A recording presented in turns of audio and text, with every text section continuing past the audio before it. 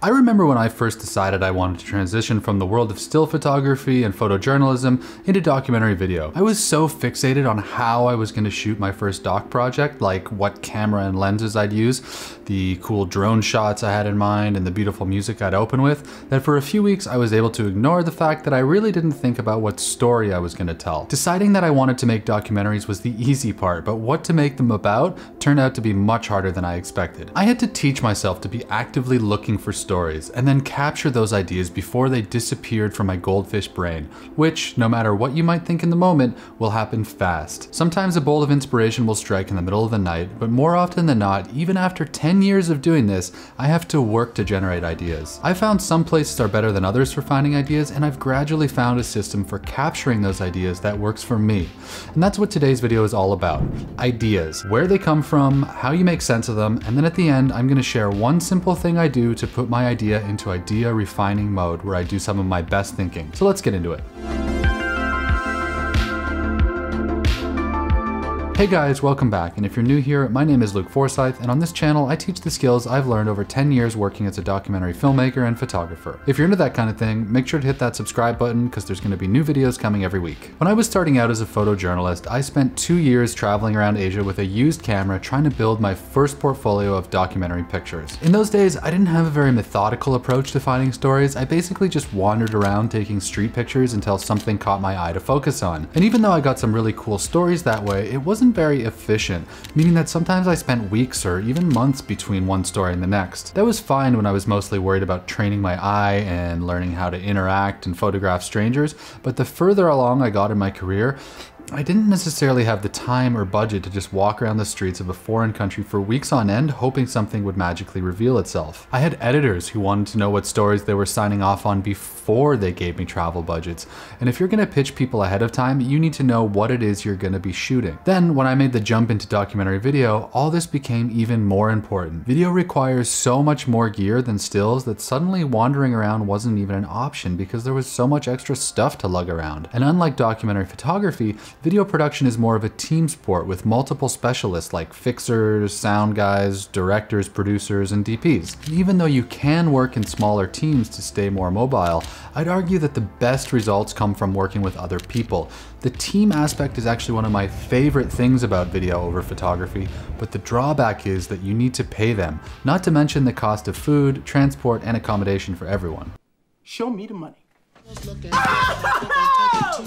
But this isn't a video about budgets. The point I'm trying to make here is that the more seriously you take documentary production, the more you need to know what you're doing before you start. And all of that hinges on coming up with and developing ideas so that you can shoot with intention instead of just spraying and praying. So where do I find ideas? I'll tell you my favorite places in a second, but first you're gonna need a system for actually recording them when you do find them, or else they tend to just float away. Have you ever had a great idea for something, not necessarily for a doc project, but just something you were sure was gonna be the best idea you'd had in a while? Then the phone rings or an email comes in, and before you realize what's happened, that idea gets bumped out of your short term memory. No matter what I do in those situations, I probably won't get that idea back. And nowadays, if I accept that I don't record an idea really fast, it's most likely not going to stick. So before you start hunting for ideas out there, the first thing you're going to want to do is set up some sort of fast capture system. There's no right way to do this, and you can use anything from your phone to a paper notebook, but the emphasis here has to be on fast. You want to find a system that has as little friction as possible possible, meaning it's as easy as it can be to get that idea down. Because if it's annoying, you might think twice about doing it, and then the idea will be gone forever. It's nice in theory to have a leather bound notebook with beautiful handmade paper, but if it's too big to fit in your pocket, you won't have it when you really need it. I personally just use Apple Notes because I always have my phone and there's even a shortcut button I can get to from the lock screen. So the time from thought to typing is about two seconds. Little Moleskine notebooks are also great if you like physical rather than digital, but there's always the risk that it's gonna get wrecked in a rainstorm or, or something like that. Whatever you go with, just keep it handy and get the idea down fast. Later, maybe once a week or something, you can go through these notes and cross out all the garbage. But somewhere in there, there might be the start of a really good project. I'll tell you later a trick I use when trying to develop these ideas into something bigger, but for now, all that matters is capturing them. Alright, so you're ready with your fast capture system, but where do the actual ideas come from? For me, they come from a few different places, but probably the most common is from consuming other people's stories. That can be movies or books or TV shows or magazines. Anywhere somewhere is telling a good story of their own can be a great source of inspiration. The point here isn't to copy a story that's already been told, but to find your own takes and stories within them. My photography mentor once told me it's impossible to copy a story because no matter what, you're going to bring your own style and life experiences to it, and in the end, it's going to be different. Like, no matter how hard I tried, I wouldn't be able to remake Grizzly Man because one, I don't have Werner Herzog's perspective on the world, and two, I don't have his amazing German accent. It's like death staring at you when you look at a. Among many other reasons. But even though I could never copy it, I could watch Grizzly Man and get inspired to make my own story about grizzly bears in a way that makes sense to me and my situation, like how they're dealing with climate change in Canada or something like that. The point is that no matter how hard I tried, I couldn't copy Herzog's movie, but it could be a jumping off point for a story of my own. So while you're watching and that idea pops into your head, grab your phone or your notebook or whatever fast capture system you're going to use and get it down as quickly as possible. Movies and other documentaries can be great places to find ideas, but personally, I prefer reading. Fiction, nonfiction, books, magazines, it doesn't matter. Reading is the oldest way that we have of absorbing storytelling, and I personally think that things you read resonate with you in a way that other types of media don't. I've gotten more ideas for stories from reading than I think any other place, and that's one of the main reasons why I like to try and read for at least half an hour every morning before I do anything else. If you're more into magazines than books, my personal favorites are National Geographic and The New Yorker. I probably don't need to explain National Geographic too much, but it's been telling incredible multimedia stories for way longer than any of us have been alive. Any single issue of the magazine probably has 10 different things in it that would make for great documentary subjects, and most of the time, the writers have already gone through the hard work of doing all the research for you. And I'm not saying to go out there and just recreate the same story in video instead of text and photos, but look for ways to make it your own. Was the lead water scientist in paragraph 4 well spoken and interesting? Maybe she'd be a great character. Or maybe while you're reading a story about African wildlife, you read a quick description of one of the antelope poaching units and wonder what it would be like to work in one of those units. Go through an issue and keep your quick capture ready because if you can't find at least 10 ideas, you're probably not reading closely enough. The New Yorker is the gold standard when it comes to long form nonfiction storytelling.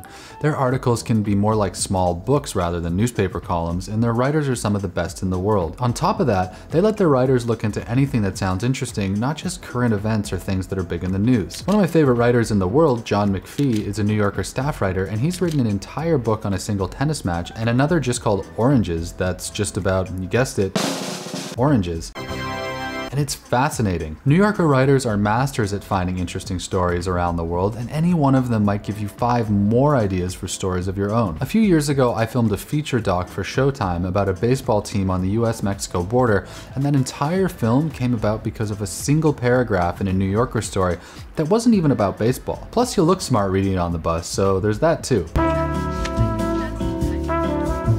When it comes to books, there's pretty much unlimited choices, and you should just follow your interests and find writers you like. You don't need to read only classic literature, and you definitely don't need to stick to nonfiction exclusively to find great story ideas in books. A few months ago, I read The Remains of the Day, which is a fiction book about a butler in an old school British manor house, and it got me thinking about what an interesting documentary you could make about 21st century butlers and how they see their role in the modern world. I'm probably not going to make that one, but if you're watching this from England and need an idea, find a good character, and I definitely watch that. But a lot of the time, some of my best ideas don't come from external sources, but from my own life. It might sound silly to say that your own life can give you ideas that are just as interesting as some big international issue or a war on the other side of the world, but it's true. Not all stories need to be big anyways, and if you've ever seen The King of Kong, one of my favorite all-time docs, you'll know this is true. It's just a couple of guys trying to set the world record for Donkey Kong, and it's amazing.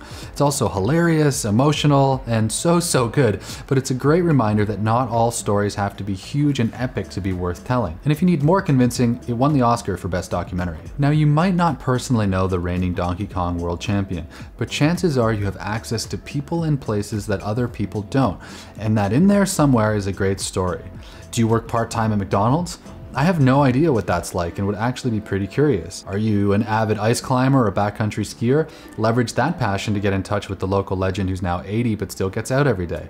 I'm in the middle of a four month shoot right now that all came up because my summer job in university. I can't say too much about it right now as we're still actively pitching, but when I was working there, I never imagined that I'd be back with a documentary film crew. Access is always going to be one of the most important elements in making a documentary, and especially when you're starting out, working on stories about things you know will make that so much easier. I'll give you another example. I grew up in a town of less than 30,000 people, and you'd never think that would be the sort of place to tell exciting stories. But when the Syrian civil war started getting really bad, the government of Canada made it legal for groups of private citizens to raise money and bring refugees over. They had to get together enough money to support the family for a full year while they studied English and looked for a job, so groups of people all pitched in together to share the cost. My mom ended up being part of one of those groups, and through her, I met one of these Syrian families when they first arrived. It was incredible to see a family from Damascus try and make sense of my boring hometown in the middle of Canadian pig farming country. But for them, it was like Mars. We went to farmers markets together and had dinner at their house, and my mom gave them rides to the local high school for language lessons. I was living in Mexico at the time and working like crazy, so it was never something I was trying to take on as a project for myself. But I've always thought that for someone, it could have been a really incredible documentary. And if that's happening in tiny towns in southern Ontario, then there is interesting stuff happening wherever you live too. So look around at your own life and unique experiences because chances are there's something there. Okay, so you've got your capture system in place and you're constantly on the lookout for ideas. You're starting to fill up a couple pages, but the more ideas you add, the less sure you are about which ones are worth exploring. So how do you sift through the noise and actually figure out what to focus on? Basically, you just need to think about it but not the kind of thinking you do when you're absently scrolling through Instagram, like real world focused thinking, where you remove distractions and try and grind on something specific until you find some clarity. Personally, I've never been able to do my best thinking when I'm surrounded by the distractions of the internet, so when I have an idea and I really need to figure out if there's something to it or not, I go for a walk. I know it might sound a little dumb, but hear me out on this. Firstly, walking gives your body something to do that you don't have to pay much attention to, and your brain can do it automatically in the background, kind of like when you start daydreaming in the middle of a long drive. Secondly, it gets you away from your computer and it keeps your phone in your pocket, unless you want to be one of those people running into walls or tripping over curbs. You don't have to put any pressure on yourself, but I found that if I just have an idea or a few ideas in mind and then I go for an hour long walk and let my mind churn over the possibilities, more often than not, not, I come up with something. If I really want to think about an idea, I'll leave my headphones off too, and I found that really keeps me grounded and on topic. Whatever works for you. Walking for an hour gives you uninterrupted time to think, where all you have to do is look back on all those ideas you collected in your quick capture system and figure out which ones have potential. That note you made about minor league ice hockey dreams, is there a story there or just a topic? Do you have a character? If you called your uncle who works for one of the league sponsors, could he possibly set up a meeting? Or what about your idea for a film about the opioid crisis? How far would you have to drive to find characters? Would they even talk to you? Is there something closer to home that would touch on the same issues? Don't you know someone from college who worked as a social worker downtown? I found that just by giving my mind some basic guidance about what it needs to think about and then letting it do its thing while my body is just worried about putting one foot in front of the other has generated so many ideas for me over the years that I try and do it every single day. Maybe those 10,000 step trackers on your phone can be about more than just weight loss because if you do 10,000 steps a day but with the aim of thinking about documentary film ideas, my guess is you're going to start coming up with them left and right. That's what works for for me, but I'd love to hear what works for you. So if you have any go-to methods for thinking clearly, let me know in the comments. Generating ideas for documentaries isn't something you can just sit down and do, like putting numbers into a spreadsheet. But if you surround yourself with good storytelling in the form of movies, books, and set up a system to record those ideas as they pop up, and then give yourself the space to think about those ideas on a long walk, think you'll find that pretty quickly you'll have something worth working on. Hope you liked that video and think about giving it a like or subscribe if you did. It really helps the channel and lets me know what kinds of videos you want to see more of. And if you've got some ideas of your own from this and want to see more like it, maybe check out this other video I made about how ancient philosophy can make you a better filmmaker. See ya!